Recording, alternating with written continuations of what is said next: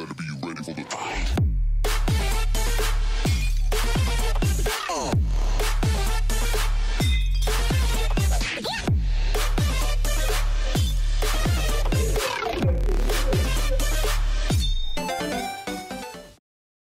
สวัสดีครับเพื่อนๆ วันนี้กลับมาพบกับผมซันวอลอีกครั้งนะครับกับรายการ Tap to Start นะครับสำหรับวันนี้นะฮะเราก็มีเกมใหม่นะฮะมา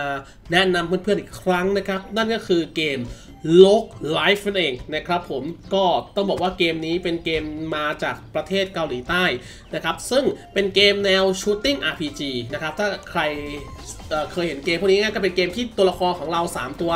วิ่งตามด่านพร้อมกับโจมตีเหล่ามอนสเตอร์ตามทาง และจะมีสกิลอื่นๆ แยกย่อยแตกต่างกันไปนั่นเองนะครับผมเรามาแนะนำตัวเกมพื้นฐานกันก่อนนิดนึงนะครับสำหรับในตัวเกมนี้จะเป็นเกม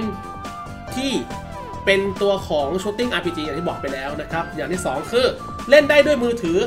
นั่นแหละอยู่แล้วนะครับ แต่ว่าเล่นได้แค่มือเดียวก็เล่นได้นะครับ เพราะเป็นเกมที่ต้องใช้เพียงแค่มือเดียวเท่านั้นเพราะต้องเล่นตัวละครซ้ายขวาซ้ายขวาไปมา เพื่อเป็นการหลบห่างกระสุนที่มอนสเตอร์ยิงมานั่นเองนะครับ และเป็นผู้พัฒนากับเกมที่ชื่อว่า Undead Slayer นะครับ ก็น่าจะพอคุ้นหูกันมาบ้างนะฮะ และได้รับรางวัลชนะเลิศจาก Google Indie Game ในปี 2016 ด้วยนะครับ แหมโอ้โหก็เรียกได้ว่า เป็นเกมที่หลายคนอาจจะไม่รู้จักแต่วันนี้นะฮะผมภูมิใจเสนอที่จะทำให้พวกคุณรู้จักกันวันนี้ครับเดี๋ยวเราไปดูกันว่าเป็นยังไงกันบ้างครับ เอาละครับก่อนอื่นเลยเรามาพูดถึงเรื่องตัวละครในเกมกันก่อนตอนนี้นะครับ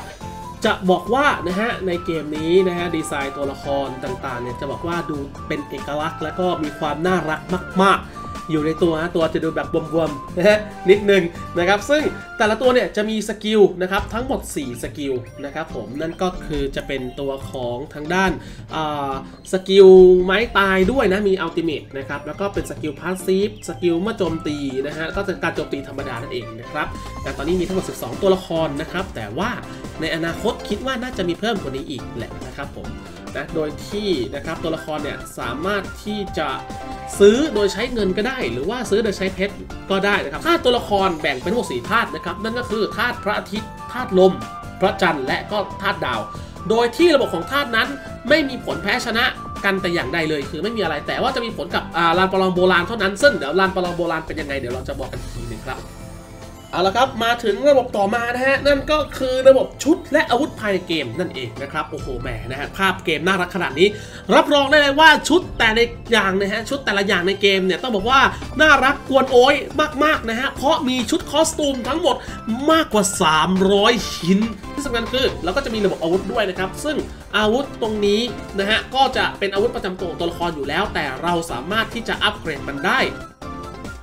มาครับ ระบบอีกอย่างหนึ่งนะฮะที่เรียกได้ว่าสำคัญมากครับกับเกม l o g Life นั่นก็คือระบบบ้านของเรานั่นเองครับ ในตัวละครแต่ละตัวเนี่ยจะมีค่าพลังงานหรือค่า energy ที่เป็นรูปสายฟ้าอยู่ข้างล่างตัวละครเนี่ยนะฮะ คือทุกตัวเนี่ตัวเนี่ยจะเต็มอยู่ที่ 100 นะครับ ซึ่งตัวนี้สามารถเพิ่มขึ้นมาได้เองนะฮะ ในหลักๆหลายวิธี เช่นอาจจะปล่อยเวลาทิ้งไว้ หรือว่าเอาไปนอนเตียงก็จะได้ energy นะครับผม ซึ่งในการกระทำแต่ละอย่างของในบ้านนะครับ เช่นการตัดไม้ ขุดแร่ ตกปลา นะฮะหาผสมยาและอื่นๆเนี่ยนะครับก็จะสามารถหาได้นะฮะใช้ได้ในบ้านนี่แหละนะครับก็คือเวลาเรากดปุ๊บนะตัวละครเราก็จะเดินมาทำในสิ่งที่เราต้องการนะแน่นอนว่าการมีตัวละครหลาย ๆ ตัวในบ้านนั้นทำให้คุณสามารถทำอะไรได้หลายอย่างมากขึ้นนั่นเอง โอ้แล้วจะบอกว่าระบบบ้านเนี่ยนะฮะสำคัญขนาดไหนขุดแร่ตัดไม้อะไรพวกนี้ฮะมันจะเป็นของที่ไว้อัปเกรดตัวละครต่างๆ ในด้านใดด้านหนึ่ง นะฮะอย่างผสมยานะครับอาการก็จะทำให้เราได้ยาที่จะสามารถนำไปอัปเกรดขั้นเลเวล max ของตัวละครเราได้นั่นเองนะครับคือตอนแรกมันจะเริ่มมา 10นะครับแล้วพออัปเกรดด้วยยานะครับให้ดื่มยาปุ๊บก็จะขยายความเก่งไปเรื่อยๆเลเวลมากขึ้นตัวละครก็ย่อมเก่งตามนะฮะนะและแน่นอนนอกจากนั้นนะครับระบบบ้านนี่ยังมีอีกเยอะมากนะฮะไม่ว่าจะเป็น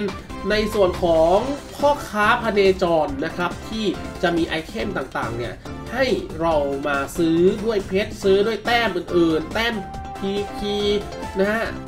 อื่นอีกมากมายเนี่ยเยอะมากในพ่อค้าพเนจรนะครับ ซึ่งสามารถมาดูแล้วก็มันจะอัปเดตลิสต์ใหม่ทุกๆ 6 ชั่วโมงนั่นเองนะครับ ก็แวะมาดูบ่อยๆนะ บางทีก็มีของดีๆ ที่คุณไม่ควรจะพลาดเลยนะ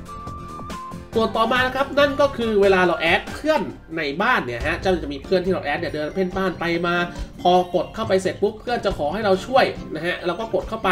แล้วก็จะเป็นการลุยด่านตะลุยด่านไปกับเพื่อนนั่นเองนะครับโดยที่ตัวที่เอาไปคุยเนี่ยจะไปสู้กับเพื่อน ก็คือจะมีแค่2ตัวเท่านั้น ซึ่งลุยภารกิจเสร็จก็จะได้รับผลตอบแทนกันไปนะฮะนี่เป็นอะไรที่ฟรีมากๆเป็นอะไรที่ดีจริงส่วนด้านขวานะครับ เราก็จะเห็นระบบของหัวหน้าคณะเดินทาง คณะเดินทางก็คือการเอาตัวละคร เหมือนแบบไปผจญภัยตามเวลาที่กำหนด และทำให้ได้รับของกลับมานั่นเองนะครับ ซึ่งจะใช้เวลานาน แล้วก็มีเลเวลของคณะเดินทางก็คือตัวละครที่เอาไปเนี่ยก็จะมีผลกับตัวของโอกาสไอเทมที่จะได้รับอะไรก็ว่ากันไปนะฮะ ส่วนต่อมาด้านขวานะฮะอย่างแรกเลยคือนะครับระบบท้าทายนั่นเองครับระบบท้าทายก็เหมือนเป็นภารกิจประจำวันนั่นเองครับโดยจะเริ่มตั้งแต่ระบบ quest quest ทำสำเร็จก็จะได้รับของต่างๆ มากขึ้นตามกำหนดนะครับนะก็เป็นอะไรที่ควรจะทำทุกวันนะเป็นของที่ดีนะครับในการอัปเกรดตัวละครของเรา ต่อมาก็คือระบบช่องมิตินั่นเองนะครับ ก็เราจะสามารถลงได้นะฮะอ่าตามที่กำหนดไว้นั่นเองนะครับ ก็ จะทำให้ตัวละครเราเนี่ยไปบุกลุยบอสตัวนั้นๆ และมีโอกาสที่จะได้รับชุดตามที่กำหนดเลยนะฮะ ก็สามารถนำตัวละครที่มีอยู่เนี่ยลงไปลุยได้นะฮะ ซึ่งไอ้ตรงส่วนนี้แหละ มันจะทำให้เราเห็นได้ว่าการที่เรามีตัวละครดีๆ หลาย ๆ ตัวจะมีผลต่อการได้ไอเทมสวมใส่เป็นอย่างมากในระบบช่องมิตินะครับ ดังนั้นอ่าปั้นตัวไม่เก่งอ่าแบบตั้งปั้นตัวเก่งไม่กี่ตัว อาจจะดีในช่วงแรก แต่ว่าก็อย่าลืมแบ่งทรัพยากรมาให้ตัวอื่นที่เรามีในทีมด้วยนะครับเพื่อจะได้ผลประโยชน์สูงสุดนะครับแต่ช่วงแรกๆเนี่ยอาจจะปั้นสักสามตัวให้มันเก่งๆก่อนก็ได้นะครับแล้วก็มาปั้นมาขยายความเก่งตัวละครอื่นๆเพิ่มขึ้นไปครับ ส่วนระบบต่อมานะครับตัวระบบท้าทายนั่นคือลานประลองโบราณนั่นเองครับสำหรับลานประลองโบราณเนี่ยนะฮะก็จะเห็นได้นะครับว่าระบบธาตุเนี่ยมีผลแล้วนะครับใน หมดนี้มีแค่หมดนี้แหละที่มีผลนะ คือมันจะมีบวกและลบธาตุไหนที่ได้เปรียบและเสียเปรียบก็ว่าไปนะฮะ แล้วก็จะเป็นการ PP นะครับกับตัวละครอื่นๆนะครับ คือสู้สู้กับตัวพวก NPC เนี่ยแหละนะครับ แล้วก็ถ้าชนะเนี่ยมันจะได้ในส่วนของอเพชรนะครับที่ชื่อว่าคิ้วนะครับ ก็คือเราจะเอาคิ้วเนี้ยไปแลกที่ร้านค้าคอมพเนจร ซึ่งของที่แลกได้เป็นของที่ดีมาก นะต่อมาระบบผจญภัยนะครับสำหรับระบบผจญภัยในเกมนี้นะครับก็ไม่มีอะไรมากครับไม่ซับซ้อนนะฮะก็จะทำให้เราตะลุยนะฮะด่านไปเรื่อยๆครับเก็บดงเก็บดาวนะฮะแล้วก็ผ่านด่านเนี่ยก็จะให้เราได้รับของได้รับเงินต่างๆ มากมายนะครับแล้วแต่การสุ่มนั่นเองนะครับซึ่งการเล่นด่านซ้ำๆก็จะทำให้เราได้รับเพชรและก็เงินด้วยนะครับ ก็ทำให้เราเนี่ยเอาเงินไปใช้สอยต่างๆ อัปเกรดอะไรบลาบลาบลาบลามากมายทีเดียวนะซึ่งตรงนี้ก็ ตัวโดยด่านผจญภัยเนี่ยสำคัญยังไงก็มันก็มีผลอย่างหนึ่งก็คือในเรื่องของอตัวละครที่จะปลดด้วยนะครับ แล้วก็อื่นอีกมากมาย ซึ่งถ้าลุยได้ไหวเท่าไหนก็ไปเท่านั้นเลยครับนะแต่ว่าตอนไหนที่คุณอยากฟาร์มเลเวลหาด่านที่มันดีเล่นง่ายสำหรับคุณนะครับ แล้วก็ลุยกันไปเลยครับสำหรับ gameplay นะครับของตัว Rogue Life นะฮะก็เป็นเกมที่เล่นค่อนข้างง่ายมากถึงมากที่สุดนะฮะ สำหรับในเกมเนี่ยเราก็จะจัดทีมทั้งหมด 3 ตัวละครนะฮะแล้วก็พุ่งไปโจมตีมอนสเตอร์ต่างๆ ซึ่งจุดเด่นของเกมนี้เนี่ยคือนอกจากว่าการที่เราจะเดินตามด่านและโจมตีไปเรื่อยๆแล้วเนี่ยนะฮะเราต้องหลบ ตัวของหากระสุนครับผมที่ตัวมอนสเตอร์เนี่ยยิงมาหาเราในรูปแบบที่แตกต่างกันไปนะฮะแล้วแต่มอนสเตอร์ที่เราเจอนะครับซึ่งตรงนี้แหละมันเป็นการวัดกึ๋นถึงฝีมือด้วยนะฮะว่าคุณจะสามารถหลบตัวกระสุนต่างๆ ได้มากขนาดไหน ถ้าคุณเป็นคนชอบความท้าทายในการหลบกระสุนกระสุนต่างๆเนี่ยโอ้โหเกมนี้เรียกได้ว่าโดนใจนะฮะยิ่งถ้าคุณชอบเกมน่ารักน่ารักแล้วเนี่ยถือว่า มาถูกทางแล้วครับผมนะส่วนอย่างอื่นในเกมนี้